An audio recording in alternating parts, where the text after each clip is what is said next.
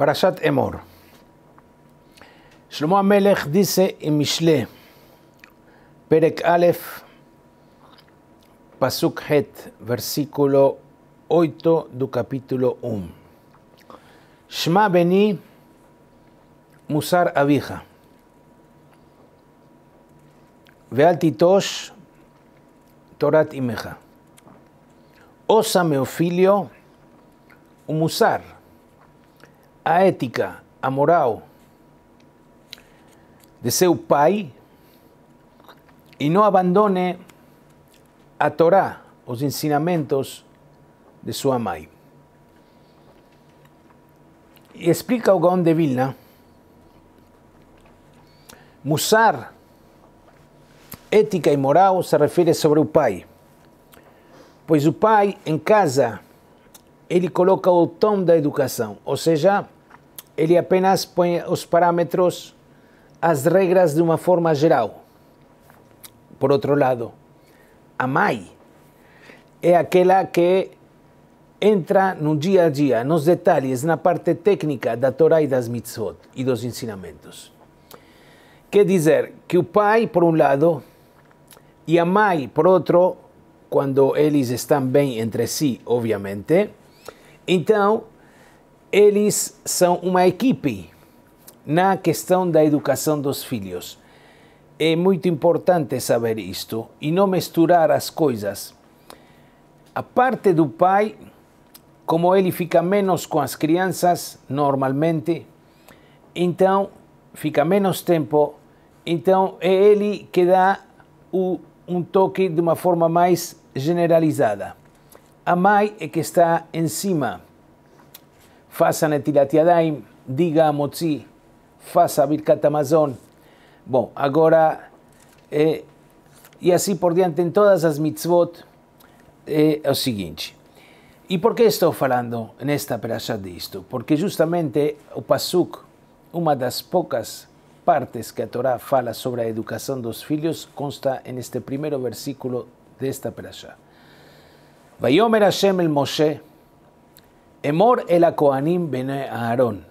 Dirás para os Kohanim, filhos de Aarón, ve a Marta Alem, e dirás para eles, redundante. E a continuação dos versículos fala sobre a questão da tum'a, da impureza que os Kohanim devem tomar cuidado ao extremo, principalmente quando se trata de impureza vida de uma pessoa falecida. E apenas eles podem se purificar por certos parentes, pelos sete parentes diretos, no meu caso, agora entrar em todas as alahot de Tumai Tahara, porém os Kohanim tinham um cuidado ao extremo com a questão de Tumai Tahara, pois eles trabalhavam no Betamigdash, eles comiam Trumai e precisavam estar puros, diferentes de todo a Israel. Mas a Torá frisa e repete, Emor ve amartá. E que significa este Emor ve amartá? Redundante, o verbo dirás. E já traz Rashi em nome da Gemara Nivamot, da Fkufiu Dalet, que diz, Emor ve amartá leazhir gedolim alaktanim. Aqui, a Torá está frisando que os Koanim adultos têm que advertir os Koanim menores, a educação dos menores com esta questão de Tum'a. E a pergunta que cabe, Rav Zalman Sorotskin e outros fazem a seguinte pergunta e se dá várias respostas, apenas a gente vai ser a, a resposta dele. Ele pergunta o seguinte: por que justamente a Torá, nesta mitzvah, frisa a questão da educação na mitzvah da, da impureza dos Kohanim. Por que não fala quando fala de Shabbat? Por que a Torá não fala quando fala de tzitzit, quando fala de tefilin, quando fala de tzniut, quando fala de bishurakum, quando fala de... Pode, pode falar em outros lugares, dar uma dica sobre a educação dos filhos. Por que justo aqui, nesta praxa? E sobre isso ele responde uma resposta fabulosa. Presta atenção. Quando você fala para seu filho, olha, isto não pode fazer em Shabbat, não pode ligar a luz em Shabbat. Então ele vê que todas as pessoas em casa, ninguém liga a luz em Shabbat. Todas as pessoas na sinagoga, ninguém liga a luz em Shabbat. Então é mais fácil ele assumir isto. Quando você fala, olha, isto aqui não é kasher, então ele vê que todos os amigos da escola, eles não comem em qualquer lugar, eles comem apenas nos lugares kasher, então é mais fácil ele assimilar isto. Mas, o que acontece? De repente, o filho chega da escola e diz: Hoje eh, interrompemos os estudos, mas o que aconteceu? Faleceu Rav Chaim Kanievski. Uh, então todo mundo vai para o enterro. Então todo mundo vai para o enterro. Então, então o pai diz para o filho, mas escuta, a gente é Cohen e a gente não pode ir. Porque não pode se aproximar do cemitério. E tem várias arajot, sem entrar em detalhes agora. Mas pai, tem grandes rabanim que vão no cemitério, vão acompanhar Rav Chaim Kanievski, adorador. Mas a gente é diferente, a gente é Cohen e nós temos algumas mitzvot exclusivas para a gente, a gente é diferente.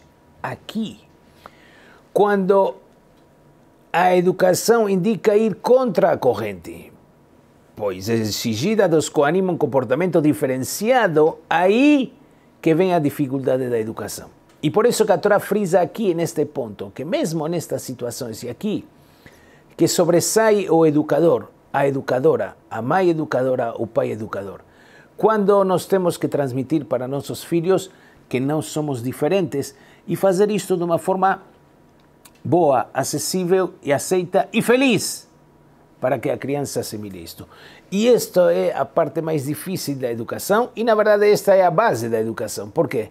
Porque a gente mora entre pessoas que não são do povo judeu e a gente mora entre pessoas que talvez não são religiosas e então a gente tem que fazer que nós somos diferentes e transmitir este conceito para que as crianças continuem neste fabuloso caminho da Torá e das mitzvot e aí vem os problemas, aí vem a dificuldade. Justamente vem a Torá aqui e te diz, Emor ve Marta, e explica, para podemos acrescentar o que traz Ramoshe Feinstein sobre este versículo. O porquê ve a Marta se refere sobre as crianças, o segundo dizer.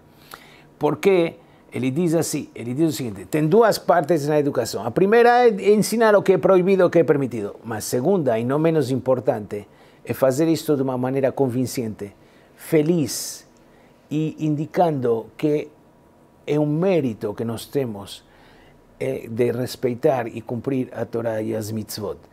E que as crianças se sintam felizes com isto e não, ao contrário, se sinta é, triste e se sinta amarrada e se sente como se fosse que está num cabuloso porque na prisão por causa desta situação. Então, aqui que vem a dificuldade e aqui que vem o ensinamento. E isto se refere também tanto para os pais e desta vez estou me referindo a ambos públicos, o masculino e o feminino, para os pais e para as mães. Se por um lado o pai tem que mostrar, mesmo cansado, quando volta de seu trabalho, que ele estuda a Torá, que ele faz mitzvot, ou que de repente eles vão passear e não podem ir em determinados lugares porque não tem tzniut, ou por outra razão, porque não tem cachê acessível, e outras coisas. Então isso tem que ser feito de uma maneira feliz.